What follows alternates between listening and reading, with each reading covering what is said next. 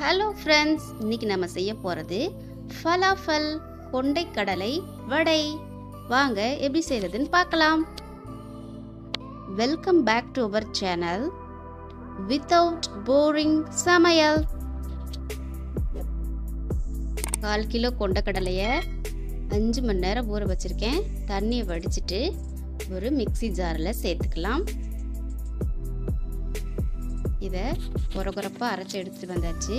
அதோட கொஞ்சமாக இஞ்சி ஒரு பெரிய வெங்காயம் கறிவேப்பிலை மல்லித்தலை சேர்த்து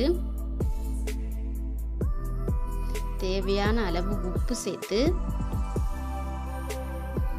ஒரு ஸ்பூன் மிளகாய்த்தூள்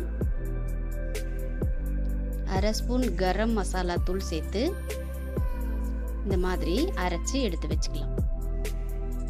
இதை ஒரு பவுலில் சேர்த்துட்டு நல்லா மிக்ஸ் பண்ணிக்கலாம். உப்பு காரம்லாம் எல்லா இடத்துலையும் பரவுற மாதிரி பண்ணிவிட்டு இந்த மாதிரி உருண்டை உருண்டையாகவும் பொரிச்சிக்கலாம். வடை மாதிரி தட்டியும் சேர்த்துக்கலாம். இது வந்து சவுதி அரேபியாவோட ஃபேமஸ் ஸ்நாக்ஸு நம்ம வீட்லேயும் ஈஸியாக செய்யலாம்.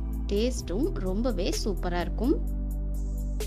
இப்போ ஒரு பேனில் ஆயில் சூட் பண்ணியிருக்கேன் அது சூடான பின்னால் இந்த மாதிரி வடைகளாக தட்டி பொரிச்சுக்கலாம். எப்பவும் ஒரே மாதிரியாக செய்யாமல் இந்த மாதிரி செஞ்சு கொடுக்குறப்போ பசங்களும் விரும்பி சாப்பிடுவாங்க. உடம்புக்கும் ரொம்ப ஹெல்த்தியானது. கொண்டக்கடலையெல்லாம் நிறைய சேர்க்க சொல்கிறாங்கல்ல இப்போது இந்த மாதிரி வடை செஞ்சு கொடுங்க நீங்களும்.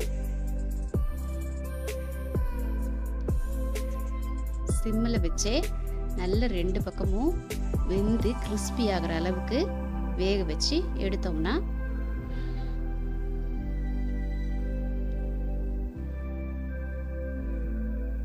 சூப்பரான ஃபலாஃபல் ரெடி